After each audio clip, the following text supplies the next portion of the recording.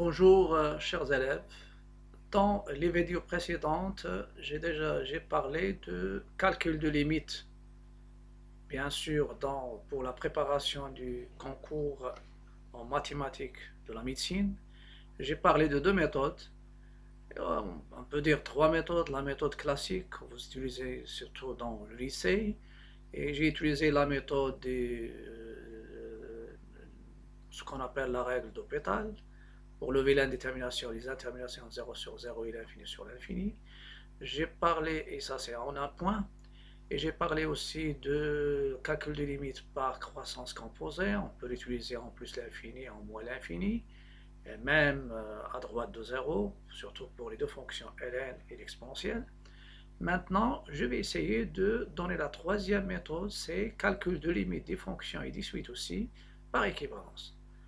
Normalement, les suites, les, méthodes que j'ai déjà utilisées, euh, vous pouvez, c'est-à-dire les deux méthodes, déjà dans les vidéos précédentes, vous pouvez l'utiliser aussi pour une suite UN qui est égale à f de n et l'associer bien sûr à une fonction f de x et vous pouvez utiliser les règles principe d'équivalence, il se base sur les limites remarquables. Normalement, les limites remarquables, si je prends par exemple cette première, c'est-à-dire la limite de 1 plus x, je peux la considérer comme x au voisinage lorsque x tend vers 0. Ça veut dire je vais l'expliquer à partir euh, d'une limite remarquable. C'est la limite de ln de x plus 1 sur x lorsque x s'approche de 0, je vais trouver 1. Ça veut dire au voisinage de 0, je peux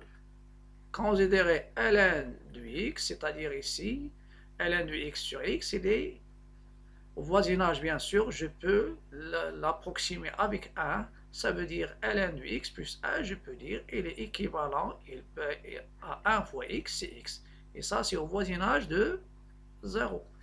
Par exemple, celle-ci, je peux l'obtenir à partir de la limite aussi remarquable en 0 de l'exponentielle de x moins 1 sur x.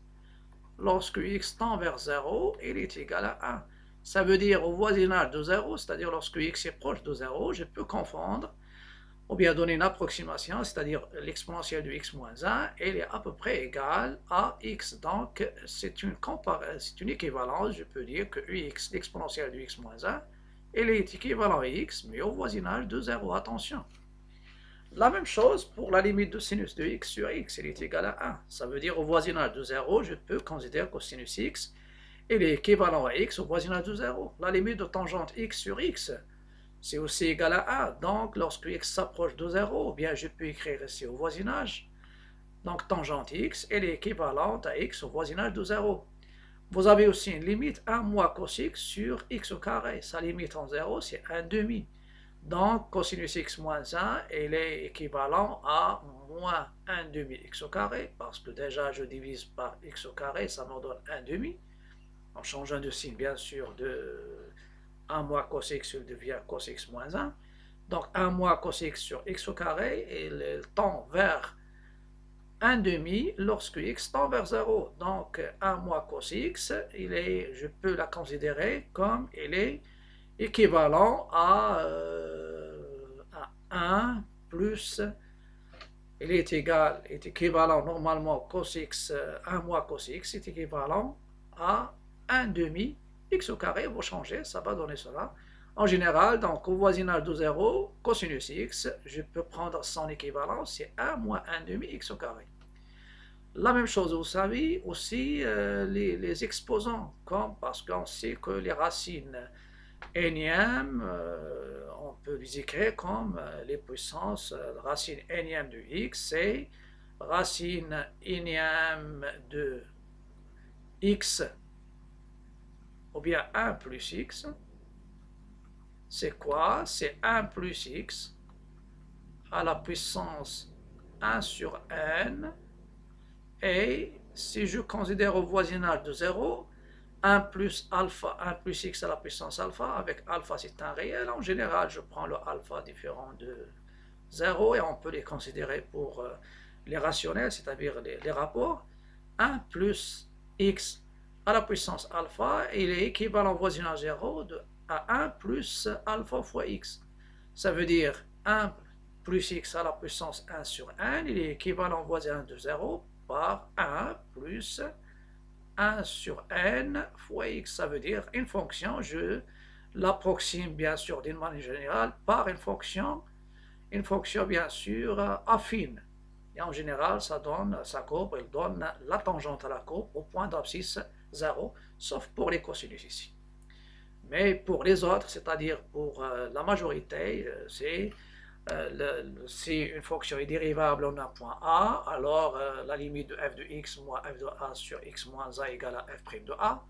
Et dans ce cas-là, il va admettre une tangente d'équation y égale à f' de a facteur de x moins euh, moins a plus f de a. Donc au voisinage de a, je peux approximer ma fonction f par une fonction affine qu'on appelle la fonction affine tangente. Elle est définie par g de x égale à a facteur de, et c'est f' de f' de f x, g de x égale f' de a facteur de x moins a plus f de a. C'est le cas qu'on utilise ici. on va l'utiliser même pour les suites que je vais donner ici, je vais donner des QCM qu'on peut avoir dans l'examen, bien sûr, le concours de la médecine. Je passe maintenant aux équivalences classiques pour les suites.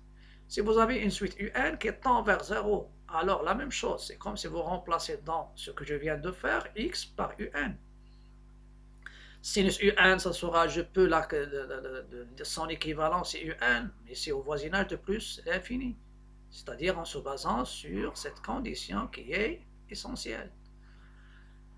Tangente UN, euh, c'est aussi euh, équivalent à UN, mais au voisinage de plus l'infini. 1 moins cos x, 1 moins cosinus UN est équivalent à UN au carré sur 2, au voisinage de plus l'infini. ln de 1 plus UN, il est équivalent à UN au voisinage de plus l'infini. Et la même chose, l'exponentielle de UN moins 1, il est équivalent à UN au voisinage de plus l'infini. Et 1 plus UN à la puissance alpha moins 1, il est équivalent à alpha n, alpha UN, mais attention, le n tend vers plus l'infini. Et en général, ce sens, c'est-à-dire les un qu'on peut avoir, normalement ici, c'est comme si vous avez un, par exemple, il est égal à k sur n. Si un, il tend vers 0 quand n tend vers plus l'infini.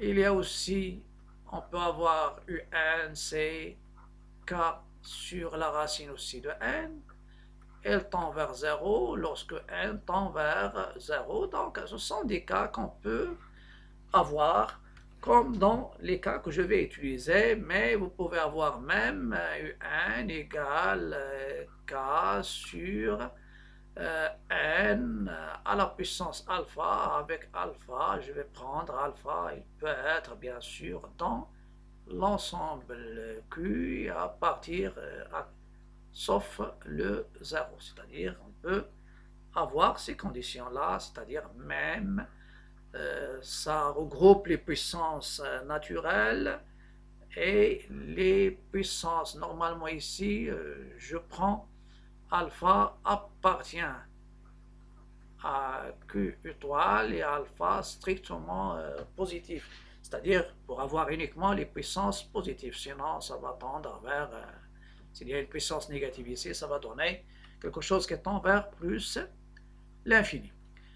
Je vais essayer de, avant de passer au QCM, on vous demande de calculer les limites suivantes. On peut vous donner calculer les limites, il vous donne euh, des, cas, et parmi ces cas, ils peuvent vous demander, de choisir, euh, choisir euh, la bonne réponse. Par exemple, la limite en plus l'infini de n facteur de racine de 1 plus 1 sur n moins 1.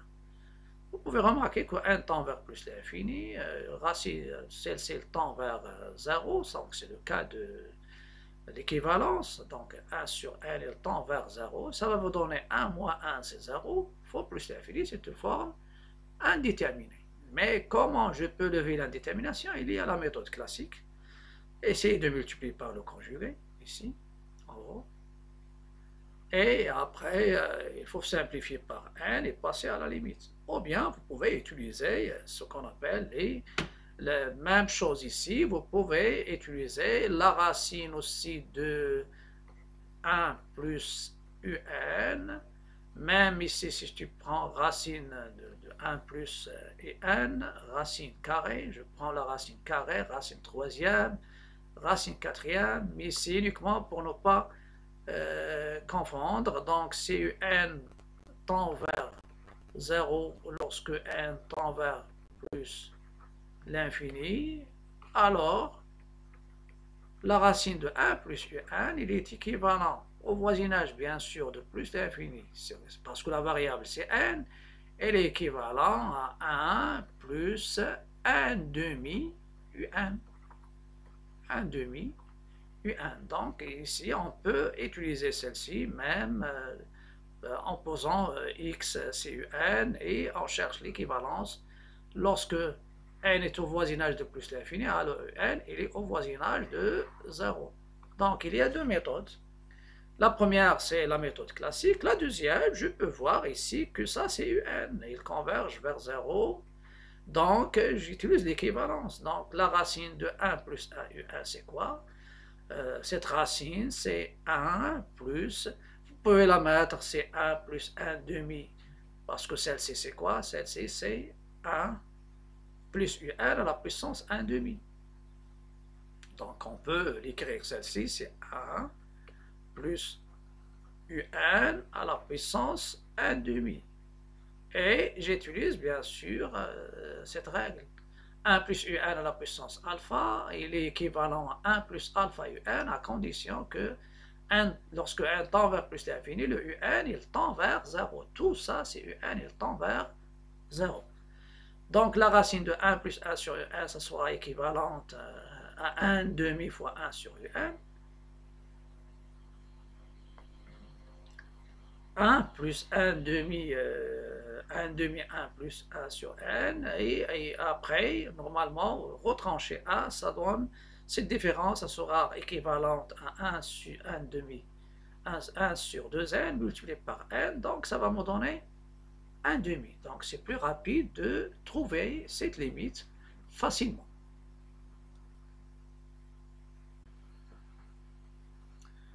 Euh, je vais passer maintenant à à la correction.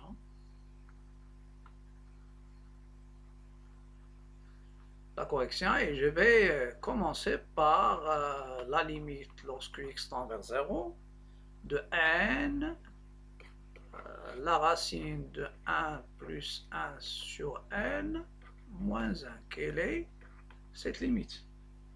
Voilà.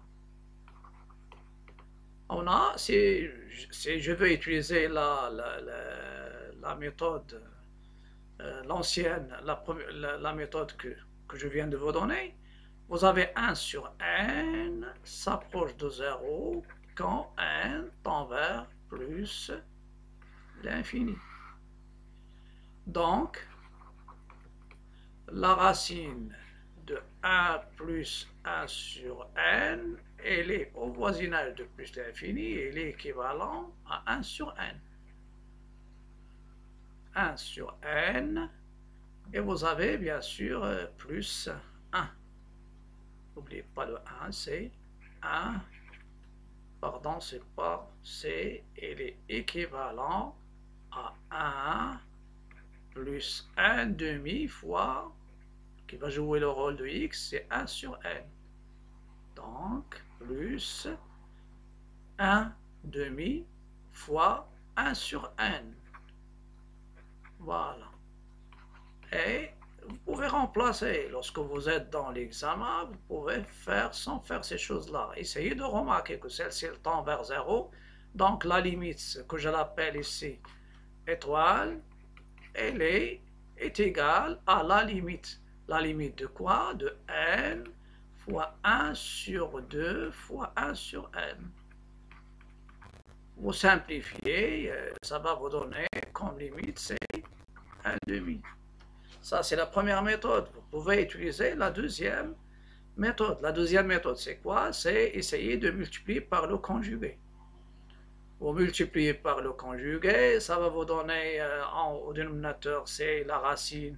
Donc, je multiplie numérateur et dénominateur par la racine de 1 plus 1 sur un euh, plus 1 en dénominateur. et au numérateur. Donc euh, ça c'est pour nous, ça sera la deuxième méthode, c'est uniquement pour vous convaincre. Donc la limite en 0, ici c'est pas en 0, c'est en plus l'infini. La limite en plus lorsque n tend vers plus l'infini de n la racine de 1 plus 1 sur n moins 1. J'ai déjà dit que cette limite c'est en forme indéterminée parce que 1 sur n elle tend vers 0. Celle-ci elle tend vers 1 moins 1 c'est 0 et ça c'est plus l'infini. Donc euh, normalement c'est plus l'infini fois 0, c'est une forme indéterminée. Je peux multiplier par le conjugué lorsque n tend vers plus l'infini. En haut, je vais diviser par la racine de 1 plus 1 sur n plus 1. Et en haut, ça va rester le conjugué, la différence, la différence, c'est-à-dire je multiplie en haut et en bas. Celle-ci, c'est la racine de 1 plus 1 sur n moins 1 fois le conjugué racine de 1 plus 1 sur n plus 1.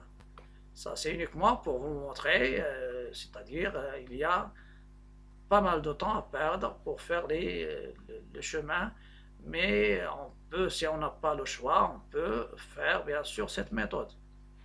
Donc, celle-ci, elle est égale à la limite en plus l'infini. Vous avez n, et c'est la différence. C'est la différence la différence des carrés racine de 1 plus 1 sur 1 au carré, c'est 1 plus 1 sur n, pardon, moins 1 et le taux sur la racine de 1 plus 1 sur n et plus 1. Et ça va vous donner, c'est la limite lorsque n tend vers plus l'infini.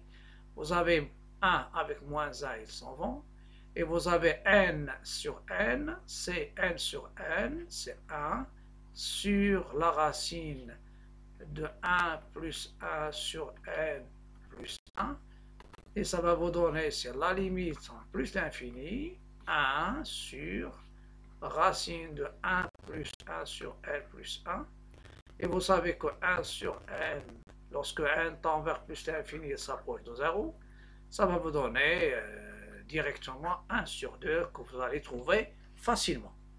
Ça, c'est la première. Donc, euh, pour vous, euh, vous avez intérêt. Donc, je prends celle-ci, c'est euh, la limite 1. La limite 1. Deuxième limite, c'est la limite lorsque n aussi vers plus l'infini de l'exponentielle de 1 sur racine de n moins 1, le tout sur n. La même chose.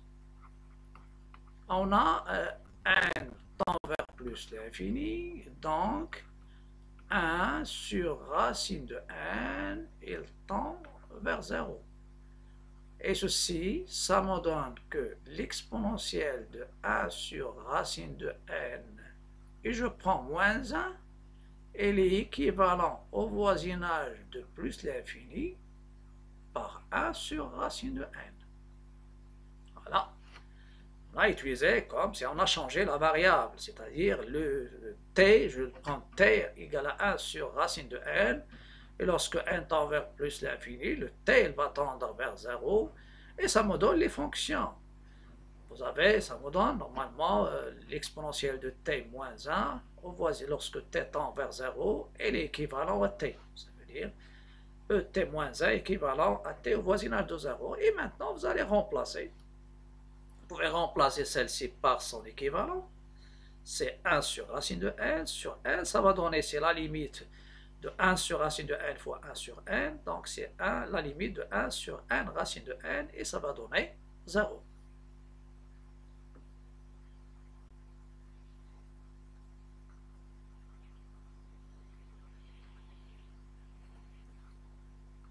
Là, je vais revenir euh, normalement euh, ce qu'il nous reste. Donc, la limite lorsque n tend vers plus l'infini de l'exponentielle de 1 sur racine de n moins 1 sur n elle est égale à la limite parce que deux fonctions ou bien deux suites sont équivalentes et s'ils ont même limite. Donc vous avez l'exponentielle de 1 sur racine de n moins 1, il est équivalent à 1 sur racine de n, bien sûr, au voisinage de plus l'infini, car 1 sur racine de n tend vers 0 lorsque n tend vers plus l'infini. Donc je vais remplacer, donc c'est 1 sur racine de n, le tout sur n, c'est la limite en plus l'infini, de 1 sur n racine de n, et c'est 1 sur plus l'infini, euh, c'est 0. Euh, Donc vous avez intérêt à utiliser la méthode la plus rapide euh, dans les meilleures conditions, c'est la, la méthode de l'équivalence 1 sur plus l'infini, et si vous avez des choix, donc vous pouvez cocher 0. Je vais passer maintenant au cas de fonction. Vous avez, pour les fonctions, on cherche la limite de la racine de 1 plus x moins 1 sur x. Cette limite est-elle finie? Si oui, quelle est sa valeur? Et choisir la bonne réponse parmi, bien sûr, les 5. Euh, vous avez, pour cette limite, on a déjà parlé de la limite, ce genre de limite, surtout euh, dans la classe en préparant bien sûr euh, de limite. Celle-ci, normalement, lorsque je passe, ça va me donner 1 moins 1 sur 0, c'est 0 sur 0, c'est une forme indéterminée. Donc, euh, la méthode classique, vous pouvez utiliser le conjugué. Vous pouvez utiliser le conjugué. Et je vais vous donner la méthode, euh, la, méthode de conjuguer, c'est une méthode qui était déjà utilisée. Et je vais uniquement indiquer la méthode déjà utilisée. Vous multipliez numérateur et dénominateur par le conjugué du numérateur. Ça veut dire que cette limite, ça sera égale à la limite de la racine de 1 plus x moins 1 fois la racine de 1 plus x plus a au numérateur sur x facteur, x facteur de la racine de 1 plus x plus 1. Euh, en numérateur, c'est une différence de carré. La racine au carré moins 1, ça donne x plus 1 moins a, ça donne x. Au numérateur, au dénominateur, vous simplifiez. Ça reste la limite de 1 sur la racine de 1 plus x plus 1. Et remplacer x par 0, ça donne 1 demi. Pour moi, je vais utiliser l'équivalence. On a x s'approche de 0. Donc, la racine de 1 plus x moins 1 au voisinage de 0, il est équivalente à x rapidement. De la limite en 0 de la racine de 1 plus x moins 1 sur x, elle est, égale à la limite de, de sa fonction équivalente, qui est x, l'équivalent du numérateur, sur x. Vous simplifiez et ça vous donne euh, c'est la racine. Normalement ici, j'ai commis une erreur, c'est pas la racine, voilà la racine de 1 plus x moins 1, elle est équivalente normalement ici, la racine de 1 plus x, c'est 1 plus x à la puissance 1 demi, elle est équivalent à 1 plus 1 demi x. Donc vous avez ici, c'est 1 demi x. 1 demi x. Donc ici c'est 1 demi simplifié par x. Je simplifie après et ça me donne 1 demi. Et la bonne réponse c'est A. Je passe maintenant à la deuxième. La deuxième, la même chose. Vous avez la limite lorsque x tend vers 0. Lorsque x tend vers 0, de sinus x sur 2 l'exponentielle du x moins 1. Elle est égale sinus de 0 sur 2, l'exponentielle de 0 moins 1. ça donne 0 sur 2. 1 moins 1, c'est 0 sur 0. C'est une forme indéterminée. Voilà. J'utilise la méthode d'équivalence. Vous pouvez utiliser la méthode directe. On a x s'approche de 0. Donc, sinus x, elle est équivalente à x au voisinage de 0. Et l'exponentielle de x moins 1, elle est équivalente à x, bien sûr, au voisinage de 0. D'où, si je prends cette limite c étoile, voilà, elle est égale à la limite de x sur 2x sur 2x. Lorsque x tend vers 0, vous simplifiez par x en haut et en bas, et ça vous donne un demi. Donc, pour moi, c'est le C. Si vous voulez utiliser l'autre, ça, je peux vous montrer la première méthode, mais pour vous, dans l'examen, utilisez la méthode la plus rapide. Donc, c'est sinus x sur, je vais utiliser étoile ici, la deuxième méthode, étoile, je vais diviser en haut par x et en bas par x de l'exponentielle du x moins 1 sur x. Vous savez que cette limite sinus x sur x est une limite remarquable, elle tend vers 1. La limite de l'exponentielle du x moins 1 sur x est une limite remarquable, elle tend vers 1. Donc, la limite demandée, c'est 1 demi. Mais pour vous, vous pouvez euh, utiliser la méthode, ça c'est la méthode des équivalences. Et c'est pas la peine d'indiquer les équivalences. Normalement, vous pouvez, pour gagner du temps, passer directement. Mais pour moi, j'explique. La limite 3, c'est-à-dire pour Q3, la même chose, en 0 plus de sinus x sur la racine de l'exponentielle de x moins 1. Quelle est sa limite? La même chose, x s'approche de 0, 0 plus normalement, donc c'est la même chose. Donc sinus x est équivalente à x.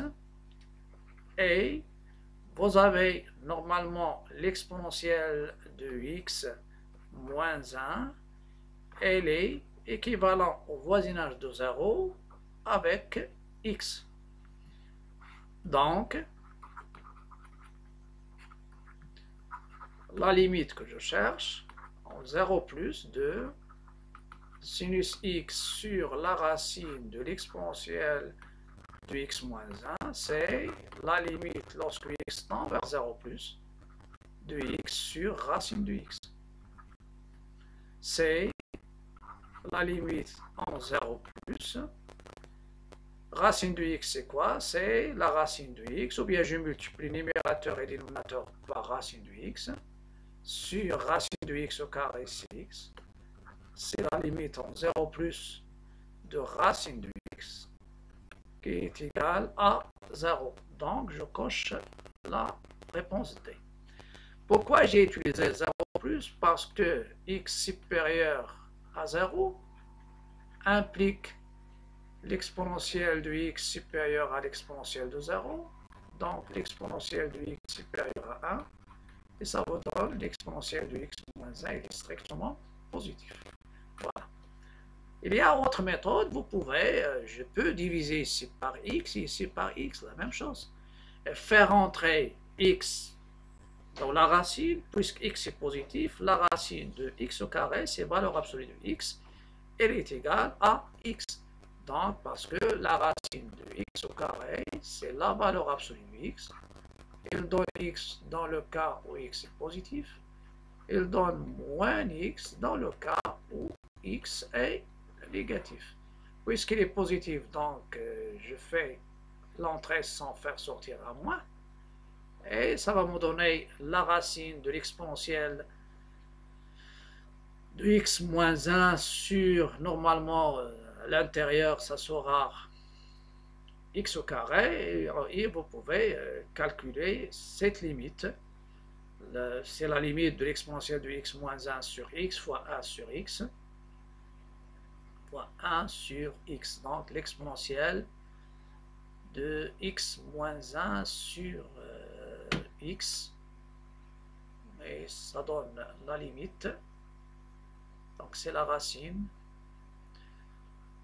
C'est-à-dire, euh, vous pouvez utiliser ou bien vous pouvez multiplier par la racine carrée en haut et en bas.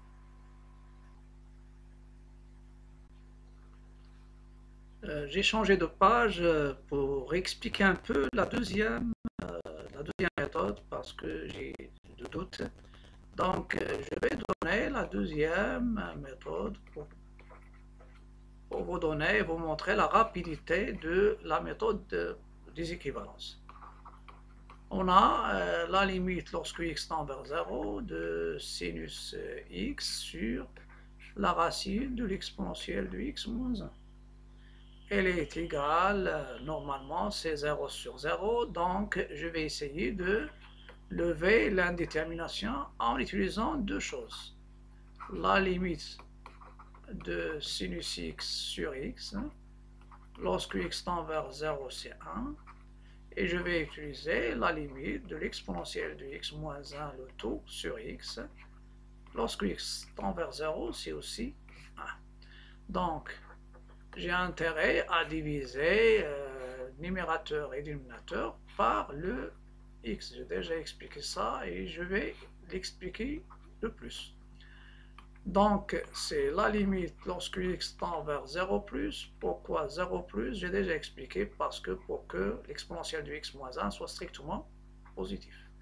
Voilà, c'est sinus x remplacé à la fin.